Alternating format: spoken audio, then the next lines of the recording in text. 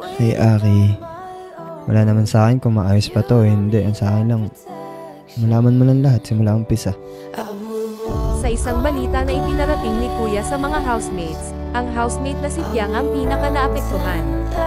Binigyan ni Kuya ng pagkakataon si Piang upang malaman ang dapat niyang malaman bago pa man lumabas lang ng bahay ni Kuya upang hindi nito ikagulat ang totoong nangyayari sa labas. Nalaman ng lahat ang isang balita na, wala na daw manliligaw ang ang housemate na si Piang, ayon sa kanyang ina.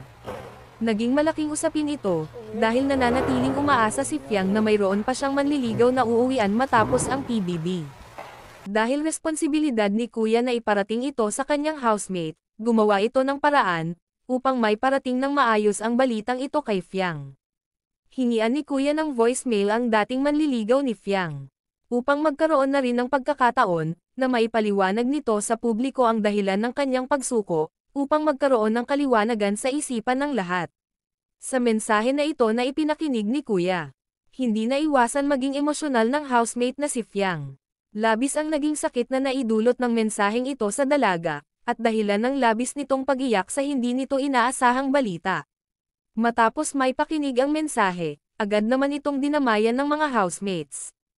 At dito, ikinwento niya ang kanyang nalaman, na ang manliligaw nitong si Shan, ay sumuko na. Tila naging malaking epekto ang mensahe na ito kay Fiang. Ngunit may katatagan pa rin sa kanyang kalooban, kaya't alam ng karamihan na kakayanin ito ni Fiang at mas lalong titibayan ang kalooban lalo't nalalapit na ang pagtatapos ng PBB. Naniniwala ang mga Fiang supporters, na dahil sa katotohanan na nalaman ni Fiang, mas magiging matibay ito sa huling mga pagsubok ni Kuya.